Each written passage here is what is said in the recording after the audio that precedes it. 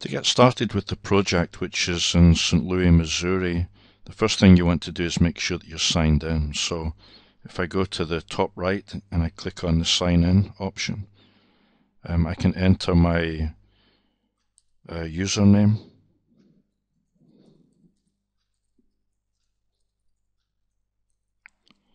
And my password. If you if you don't have a username and password, you can create an Autodesk ID from clicking on that option.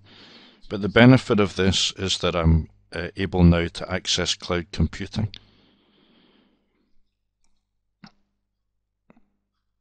So once I'm logged in, my name will appear on the top right of the screen here.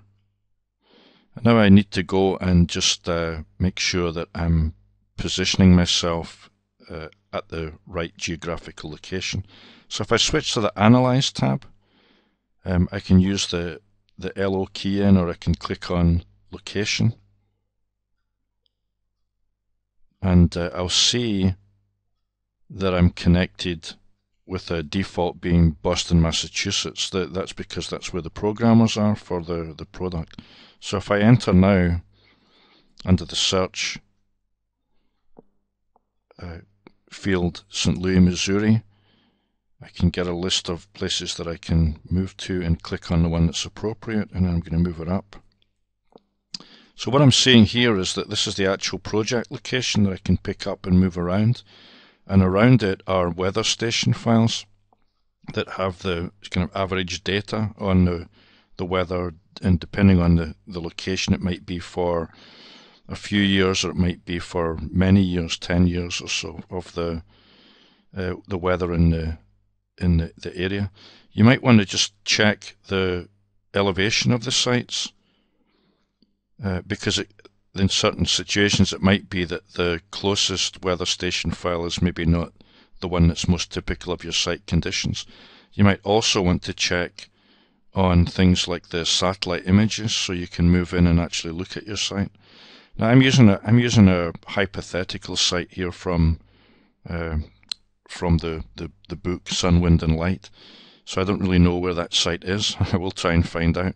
But uh, the point would be that on the bottom right of that screen you can say import site image if you actually wanted to have an aerial photograph life size of your project and you could bring it into the into the drawing. In this particular case I'm not really going to use the site image but I want you to know that that's there because it means that for example I could start by creating massing forms of the surrounding buildings um, of the site that I'm going to, going to use. The other thing that I'll point out here, if I go to the Model tab, is that that blue box that you're seeing is the is the show or don't show the plane that you're drafting on. So it's a toggle switch that you can turn on and turn off, and I'm going to turn it off at the moment. And then now I'm actually just going to delete the aerial photograph. So I'm I'm really already set up to uh, to now be working on my, my project if I'm going to move back to this floor plan 2D site. Um, the other thing that I'll point out in here is if I window around the those two icons into filter, this is the project base point and the survey uh, survey point.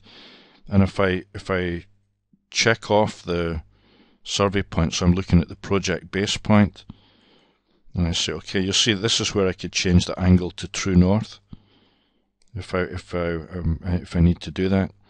Um, in this case, again, I'm not doing it, but now you know where the information is. I'm going to assume that north is is straight up. So at this point, I'm actually ready to start creating my site.